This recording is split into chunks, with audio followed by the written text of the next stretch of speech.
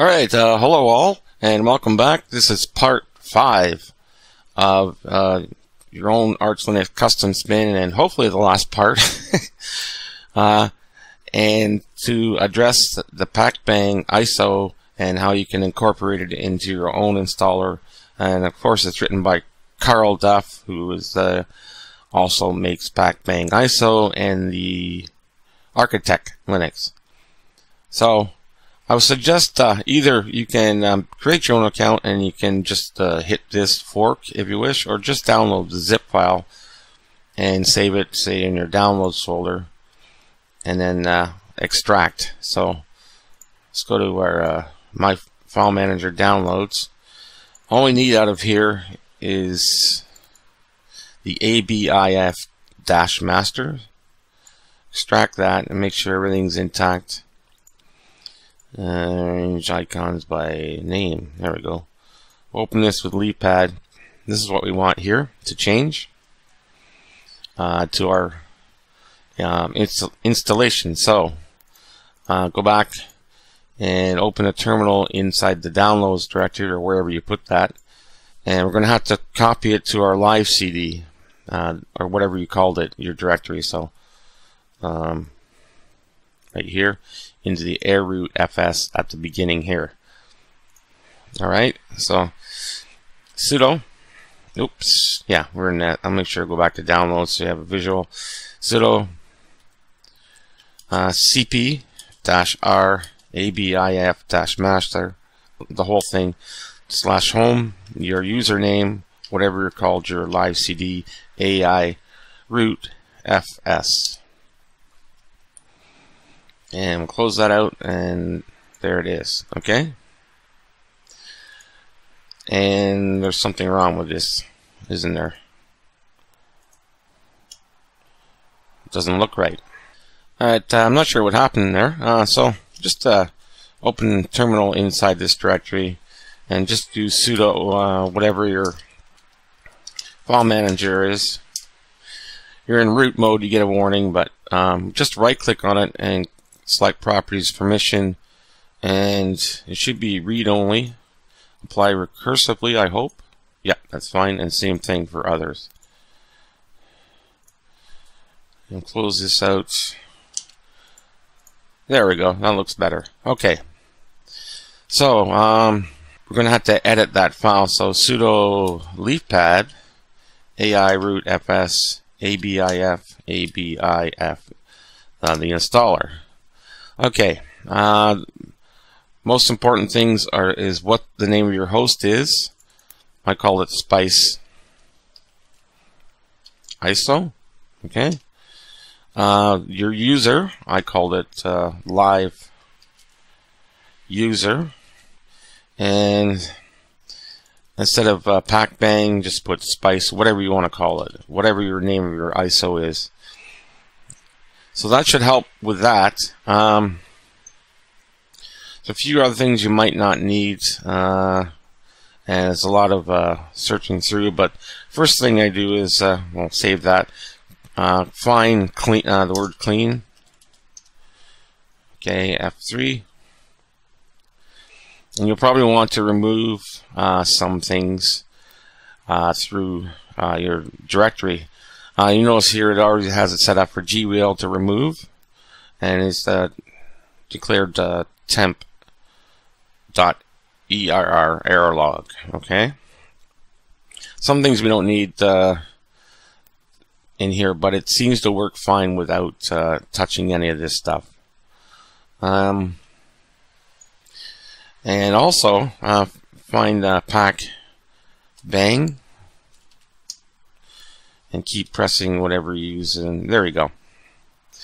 Where it has uh, it's going to ask you the, the, installer asks you to what name you want for your network and if you want to change it to your host name spice where to go? Spice iso and let's go back to the top. Yeah we're just going to call that spice. Sorry. Make sure it matches that's all and I believe uh, I usually take out uh, a line, this line here, this echo IP address. I'm not sure that's, uh, it looks like it's commented out. Sorry, Carl, if you're watching this. so our host name, uh, make sure, yeah, Spice, okay. I think it's this echo line. I don't even know if I need to check error. Again, trial and error. Okay, so uh, we'll save that. And let's uh, find that and clean and oops. Uh, clean. And again. It's under uh, Display Manager. Uh, has, it has LXDM, which is nothing wrong, but I haven't included in the ISO. However, if you want, you're going to have to uh, search for LXDM all uh, instances, and if you're using GDM or LightDM or something like that, or none at all, um, it doesn't really affect the installation um, at all, the installer. Uh, but if you include in Display Manager and it's different than LXDM, uh, you can uh, make the appropriate changes. But the idea here is just to get you going with how you, you incorporate it into your system. So, as I said, the main thing is at the very beginning is the host name and your username. All right. And if you want um, to remove other things, you have to use that as arch ch root command, I believe. Oh dear. Let me see. Let me see. Uh, ch root. Yeah. Arch underscore ch root. You see, there's a ton of them here. And again, it's under the clean section. That's why I always search for that. And again, there it is. Here we go. So arch ch root, and if you want to remove something, so for example, you can make your own custom entry, say just after the systemd or something. I would be very careful uh, with the syntax. Okay, make sure you have the right spacing, uh, two spaces, and say remove packages that you don't want. Uh, for example, I don't really use uh, the Geany text editor, so arch ch root, alright, and we'll copy that. Paste that in, and make sure there's another space here. In this part, remove packages, arch underscore ch root, that's the way the, the installer works is in quotes pacman dash rns geany in quotes. Then a space and then uh, the two and then two arrows uh, temp uh, dot err log as you can see here. Then save. I believe it's uh, there's another a couple of settings with the uh, you see here um, the line here to copy this and remove this pacman.d, uh, which is not, we don't have a pacman.d directory uh, or an SU file. Uh, that's for uh, root, but I'm just going to leave it for now. Okay? And uh, I guess we have to make sure that's executable. So open the terminal here. Just in case plus x a b i f. All right. And now let's close this down here and all right. So let's try it out.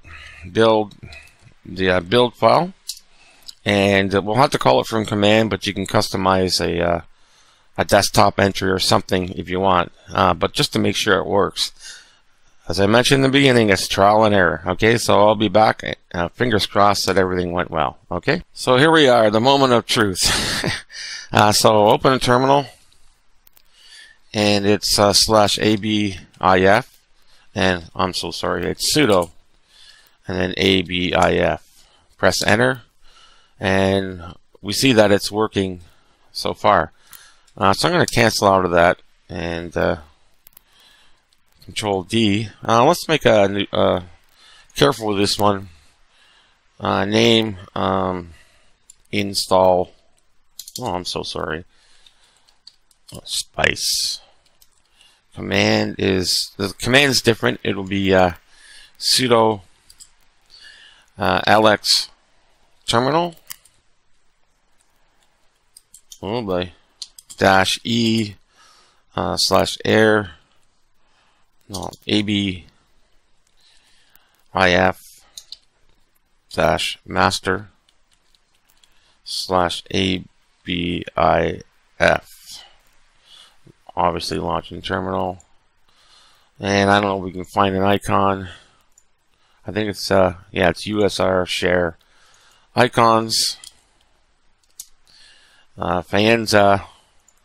places scalable arch logo I have no idea if this oh well install spice alright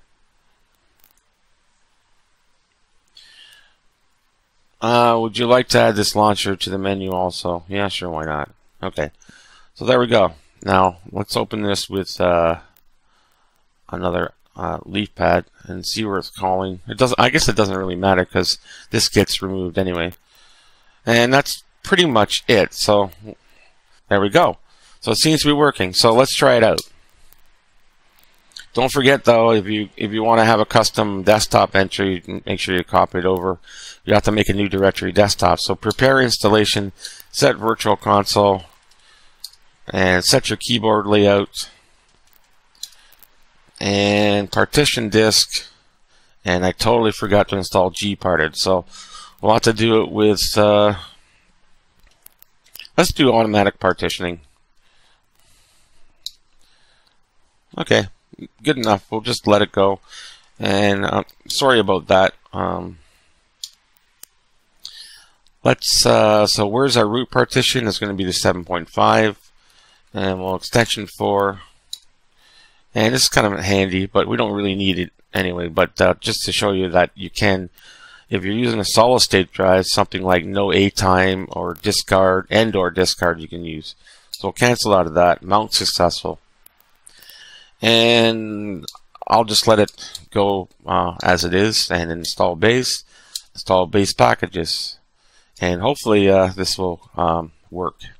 So this will take a couple of minutes at least. Okay, so I just ran the MK init and I noticed uh, I forgot to put the no confirm flag into removing Geany. Sorry. Uh, so I just had to press the letter Y and it just went. So install bootloader. I usually use Grub and only one device here. And uh, again, uh, if you're going to use another, if you're going to dual boot, if you're going to make, you know, your Arch and you want to install on your system, you have to get uh, OS Prober. So with configure base, uh, fstab, if you're not using uh, UEFI, uh, uh, UUID is fine. Uh, host name. There we go. So this is what I was talking about uh, where we changed it. So you can call it anything you want or just leave it. Whatever. System locale, uh, the usual drill. And uh, security, I'm just going to leave. Uh, whoops. Okay, I can do it that way too. Uh, system max use, uncomment that. And 50M. I'm not sure if autos well, whatever. Control O to write that out, and Control X. I'm just gonna leave the default there, and same thing, disable. Back and review configurations. vConsole. There we go. Opens up in the Geany editor. Font equals IS, ISO. Oh, I'm so sorry. 02-12 by 22. Completely optional. Save. Control S to save, Control Q to quit. Uh, hosts, let's take a look here. Yeah, just uh, a Spice, I called the host, and I usually like this, uh, seems to help with Firefox. And save and close. Okay, sudoers, uh, sudoer, sudoers, uh, by default, it's a percent wheel, so it'll ask for your password, but I usually comment that out here and uncomment the no password. Very simple. MKN and F FSTAB. And now here's that uh, LXDM. We don't have that, so you can ignore that. Grub. Um, 1024 by 768, but you'll have to update the grub file after installation. And take a look at our Pacman config. There you go. As I mentioned earlier, commented out in the Arch Linux uh, repository. Back, done, close installer, yes. Uh, with the ISO still in, that's fine. We'll just uh, go to um, boot existing OS. It's the third entry. There we go. So far, so good. And there's no uh, login manager, so you have to do it manually. So whatever you called yourself. Okay, and I forgot to, I'm so sorry, I forgot to remove the uh, auto login feature, but that's okay. It did work. And what's this? Oh yes, right. So you can just right click and eject. Okay, whatever. It seems to have worked with the custom name. The time zone's correct. So just a quick check. Uh, disk free space is uh, 2.5 and free um, memory. Uh, it didn't take the swap anyway, so I'm so sorry about that. Gparted. I forgot to include that, but you, I think you get the idea. And it's not that hard to actually to configure the installer. Um, just add in what you want. And I did install LXDM, and it took no problem. So to fix the resolution I specified in Grub, you just uh, sudo grub as you would in uh, uh, vanilla basic Arch Linux installation. sudo grub dash mkconfig dash o boot nope grub grub dot cfg and I'm not sure it's a keyboard combination, but it doesn't matter. Just restart. And there we are. The screen is larger. I think there's also a command for uh, disabling the mem tester if you don't want to see that all the time. It's no big deal. Okay, so I changed this to uh, from default to Cinnamon, but it'll go to software rendering, rendering anyway. But you can see that it, LXDM is working just fine. Okay, you're going to have to make some adjustments and to the to the packages that you include gparted, OS Prober, and customize whatever you want for uh, login manager. I believe that was it. And unfortunately, I couldn't get this menu uh, to set. Like if you configure it, remember before I uh, had an icon, uh, this wouldn't um, it didn't save. I'm not sure where it is.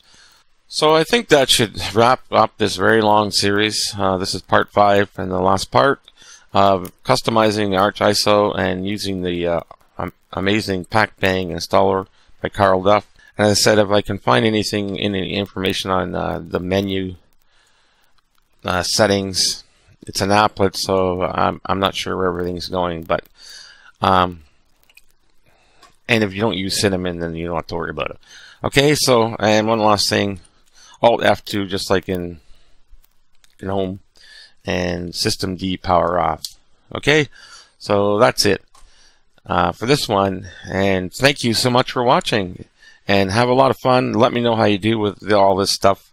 And I'll try to answer, answer you the best I can. So thanks again, and we'll talk to you soon. And bye for now.